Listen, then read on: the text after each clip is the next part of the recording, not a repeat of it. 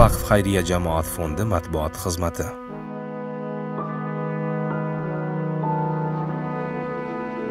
Xalqimizda azal azaldan xayru saxovat va ezgu amalga xayrixohlik nochor va muhtojlarga yordam qo'lini cho'zish odat tusiga kirgan. Ayni kunlarda saxovatpeshalik arqonini mahkam tutib nochor va muhtojlar uchun qayg'urishni o'z oldiga maqsad qilgan vaqf xayriya jamoat fondi tomonidan oqqon kasalligiga chalingan bolalarni qo'llab quvvatlash maqsadida turli aksiya va loyihalar amalga oshirib kelinmoqda. Shunday aksiyalardan biri 23 yanvar kuni respublika gematologiya va qon quyish ilmiy tekshirish institutida o'tkazildi. Institutda davolanayotgan 16 nafar bolaga vaqf xayriya jamoat fondi tomonidan 32 million so'm miqdorida xayriya mablag'lari taqdim etildi.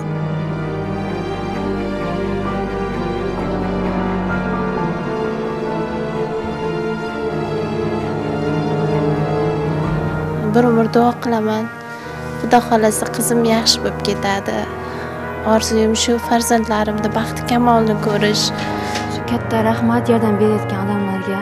Farzandim sog' salomat yonimda o'ynab kulib yurgan vaqtda men eng dunyodagi eng baxtli inson eng baxtli ona bo'lgan ekanman. Xudoga shukur qilib yashashimiz kerak nolimaslik kerak hech qachon og'ir kasallikdan azob chekayotgan murg'ak qalblarning ko'nglini nurafshon etish ota onalarning duosini olish har bir mo'min musulmon uchun ulkan ajru savoblar yozilishiga sababdir.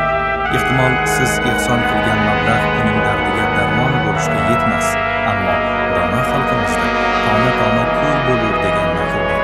Agar yaxshi insonlar birlashib birgalikda harakat qilsa dardmandlarning mushkullari oson bo'ladi anas roziyallohu anhudan rivoyat qilinadi. Payg'ambar sollallohu